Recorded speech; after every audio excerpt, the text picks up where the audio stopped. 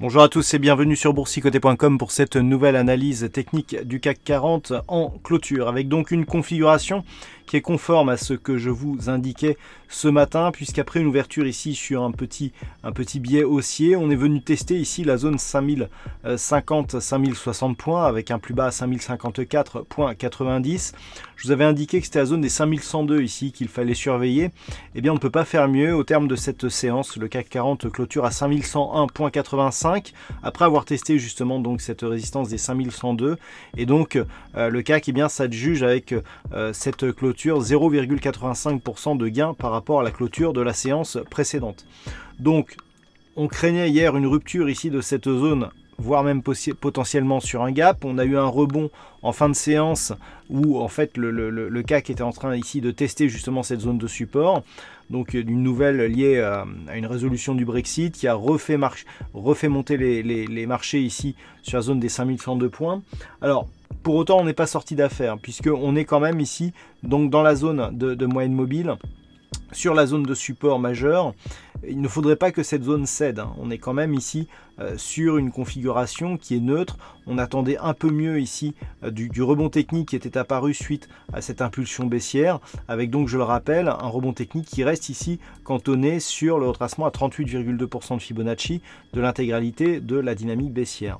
Donc on reste dans un, flux potentiellement baissier tant que cette zone ici, hein, 5145 euh, points, ne sera pas cassée d'une manière significative et surtout en, clôture, hein, puisqu'avec des attaques, on n'a jamais clôturé au-dessus de cette zone depuis le début du rebond technique. Du point de vue des indicateurs techniques, on reste dans une, dans une euh, évolution plutôt baissière ici sur les histogrammes du MACD. Le RSI qui hier avait cassé ici euh, sa, euh, sa, dynamique reste ici donc sous cette zone. Donc on va, on va pouvoir supprimer cette droite. On a maintenant un RSI qui s'est neutralisé. Donc on a des volumes qui sont tout juste dans la moyenne. Alors par rapport à cette configuration. C'est vraiment ici la neutralisation. Quand on regarde, au final, depuis ici qu'on a eu ce gap de rupture, on est dans un range. Hein. On est dans un range avec donc cette zone 5050-60 en zone de support et la zone ici 5175 entre 145 et 175 qui fait office de résistance. On a eu deux tests ici de cette zone et à chaque fois ça a impulsé des mouvements baissiers de retour justement sur cette zone de support. On le voit ici sur la première, la première, euh, première tentative, on est revenu ici sur des niveaux proches des supports. Deuxième tentative, on revient ici sur des niveaux proches des supports. On n'a pas eu le double top qu'on craignait à un moment euh, toutefois, une rupture ici des 5050-60 serait un signal baissier assez fort et comme je vous l'indiquais hier, tout dépendrait éventuellement de la manière dont serait comblé le gap que nous avons eu et qui avait formé donc le gap de rupture, signal de sortie ici de la dynamique baissière.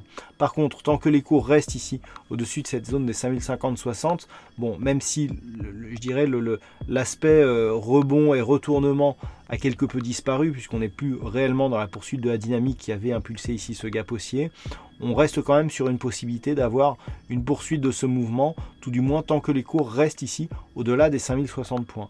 À partir du moment où on viendrait à casser cette zone, les, risques de retour ici sur les zones de points bas, notamment ici sur la zone des 4897 points, sont assez forts. Hein. On a vraiment ici des zones techniques qui sont très fortes. Si le CAC arrivait à casser ici ces niveaux, eh bien le, retour ici sur, euh, sur ce point bas serait euh, quasiment assuré. Voilà, donc pour demain, Toujours les mêmes zones à surveiller. À la baisse ici, zone 5050-60. À la hausse, la zone des, des 5102. Il faudrait vraiment une cassure significative des 5102 pour pouvoir s'extirper ici de, cette zone de congestion et de ce risque baissier. En cassant ici les 5175, eh bien on pourrait se donner un peu d'air en direction ici des 5248 points. Voilà donc tout ce que l'on peut dire sur cette analyse technique du CAC 40 en clôture. Du point de vue des statistiques, encore une fois, les statistiques sont... Euh, il y, a trop peu d'occurrences pour définir une statistique fiable, donc pas de, pas de statistiques pour ce soir. Voilà, je vous souhaite une bonne soirée, bonne chance au prochain trade. On se retrouve dès demain pour d'autres analyses techniques, toujours sur le site boursicoté.com.